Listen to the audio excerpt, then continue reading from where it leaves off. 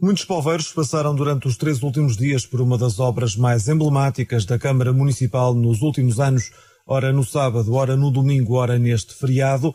Foram muitos os que participaram na festa Um Dia no Parque, este ano estendida por todo o fim de semana, até 10 de junho, porque o feriado calhou numa segunda-feira. Os insufláveis deliciaram a pequenada e agradaram aos pais, proporcionando grandes momentos em família. Rui. Lara. Maria João. Muito bem, as meninas então vieram hoje ao parque, gostaram? Sim. O que é que fizeram? Uh, saltámos muito, uh, corremos e divertimos-nos muito. E qual foi a parte preferida?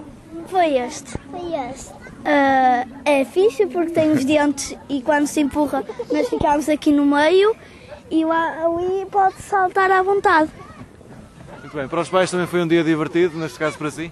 Uh, sim, exatamente. Uh, mas uh, por elas, não é? normalmente costumamos vir cá e hoje mais uma iniciativa, vim cá com elas.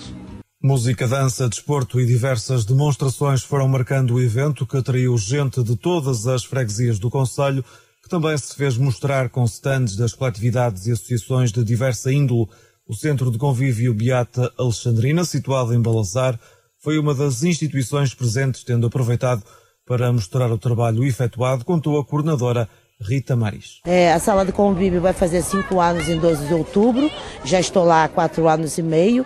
E o trabalho que fazemos é de, de resgate de uma identidade social perdida pelos idosos e de inclusão dos próprios idosos nas atividades e na vida social, não é? É dar-lhes vida. Todo o trabalho que está aqui exposto é feito pelos idosos. Todo o trabalho é a participação deles. São eles é que trabalham, eles é que fazem, os que podem, os que não podem participam com a sua alegria, com a sua conversa, com as suas histórias e dos que podem trabalhar. É, todo o trabalho é feito por eles, tudo realizado por eles. E já no passado estivemos aqui, é uma iniciativa muito boa por parte da Câmara Municipal da Pova de Vazim. Ficamos muito agradecidos, não é, pelo convite e queremos continuar a participar. É um convívio muito agradável e acabamos por rever aqui pessoas amigas, eh, pessoas de outras freguesias que conhecemos. É muito agradável estar aqui. Muitas instituições aproveitaram para vender produtos da terra ou para angariar fundos com a venda de petiscos e outros bens.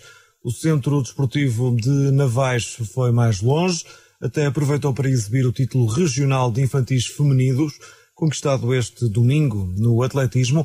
Este fim de semana decorreu também no, no Porto o, o torneio, Campeonato Regional de, de Infantis e a equipa feminina de Navais conseguiu obter o primeiro lugar, por isso já é um feito muito importante.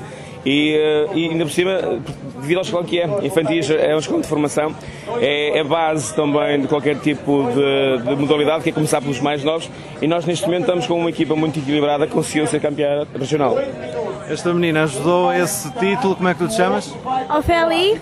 Em que provas é que participaste? Uh, 150 metros e 60. Resultados que tiveste?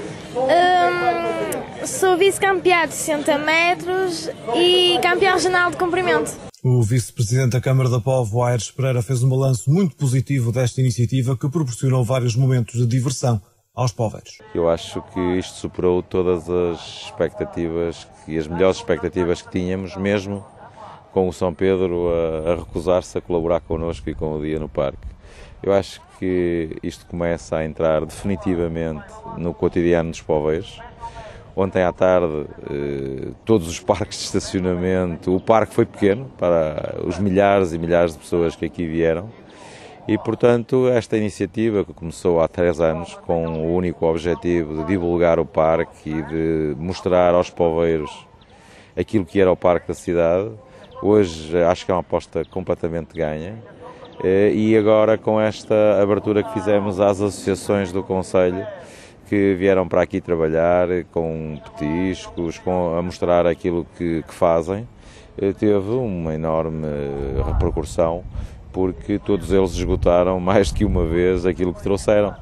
E acho que é algo que tem que ser reforçado é, mesmo a animação que este ano tivemos só com gente da Pova do Varzim, com os nossos artistas, com os nossos conjuntos, é, é também uma, uma boa montra para que as nossas associações, os nossos artistas mostrem aquilo que são capazes e há gente muito boa na nossa terra e com enorme talento eh, para, que merece ser apoiada e divulgada. Sendo uma aposta ganha, na opinião da autarquia, um dia no parque é uma festa para continuar e reforçar nos próximos anos com novidades e melhorias já a ser pensadas.